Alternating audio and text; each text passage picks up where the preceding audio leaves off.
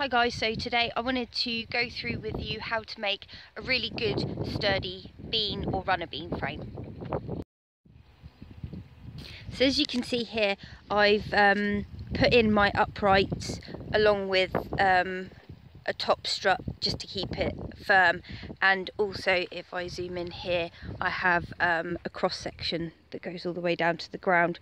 So what I do with mine I'm not growing any runner beans but um, the same framework will, wait, will work for your runner beans as well as any other bean.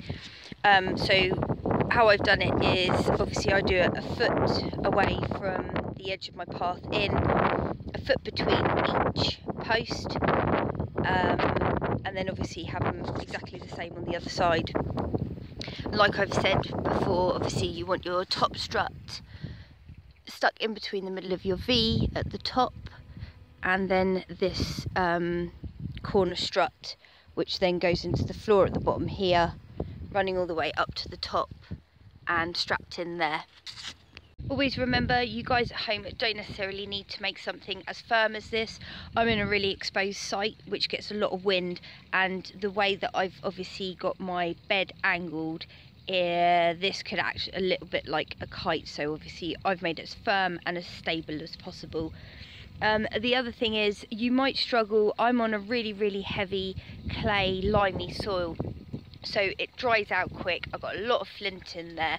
Um, and a way to make it really easy because I have really really struggled getting some of my posts in because obviously you can't whack them from the top because they're too thin and they're too tall because these are eight foot um, bamboo canes I just get a fork and where the post is going to go, where your bamboo cane is going to go into the ground, I just stick the fork in to the whole fork's depth and give it a really, really good wiggle around in the soil and that should help your bamboo cane slide in. So don't dig it over, just give your fork a little wiggle and then hopefully your bamboo cane will slide in a lot and that's it on the uh, bean side of things. Obviously it's still a little bit too early to be planting out my beans so that's why I've erected these guys up so it's all in the preparation.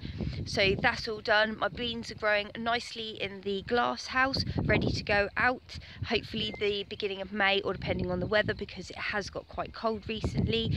Um, I'm obviously in the south so it's um, it's a lot warmer down here than maybe up north if anybody's up north. Um, so just keep an eye on that weather guys. Uh, don't put your plants out too soon because there might be tears and we don't want tears we want vegetables.